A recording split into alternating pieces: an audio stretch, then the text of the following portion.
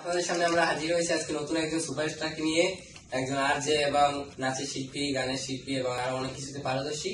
তো আমরা সরাসরি চলে যাচ্ছি তার কাছে। হ্যাঁ আমরা চলে যাচ্ছি সরাসরি তার কাছে। হ্যাঁ হ্যাঁ কেমন কেমন আছেন? হ্যাঁ ভালো আছি। আর আপনাকে প্রথমেই যেটা বলব সেটা হচ্ছে আমি নাচের শিল্পী এবং কথা বন্ধু। আমি কোনো মানে গানের শিল্পী না এটা একটু ও ঠিক আছে গানের শিল্পী না। আপনি তো অনেক কিছু শিল্পী অনেক ফেমাস হতেই পারেন সমস্যা নেই। হ্যাঁ, তো আপনার কেমন চলছে দিনকাল এখন? এই তো ব্যস্ততার মধ্যে চলতেছে, যেহেতু সামনে মানে কিছুদিন আগে পুজো গেল, ঈদ গেল, কোরবানি গেল, তো একটু ব্যস্ত তো থাকতেই হবে অফিস তারপরে আমার পার্সোনাল লাইফ এবং আমার মানে কি বলে নাচ টাচ নিয়ে এবং ফ্রেন্ড সার্কেল অলওয়েজ নিয়ে একটু ব্যস্ততা সিম্পল হ্যাঁ।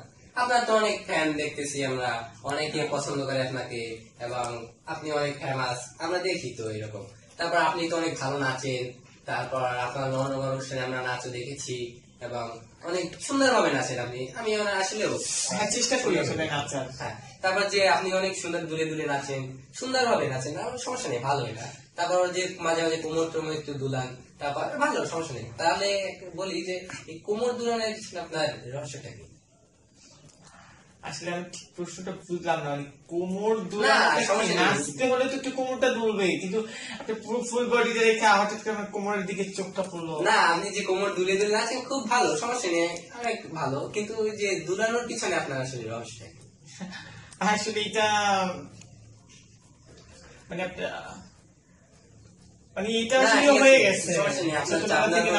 এটা হয়ে গেছে যে কোমর আমার শুধু কোমরই দলে না আমি মনে করি করি আমার সবই দলে। হ্যাঁ হ্যাঁ ঠিক আছে সমস্যা নেই। তারপর যে আপনি তো আমরা জানি আপনি রেডিওতে কাজ করেন কথা বলতে একজন আর যে তাহলে আপনি যে যারা কাজ করেন এই শাহনাজ ম্যাডাম তো আপনি হ্যাঁ ম্যাডাম বলে রাখি ম্যাডাম আমার একজন শ্রদ্ধাভাজন লোক। কেন ম্যাডামের সাহায্য সহযোগিতায় মানে আমি অনেক দূর আগানো।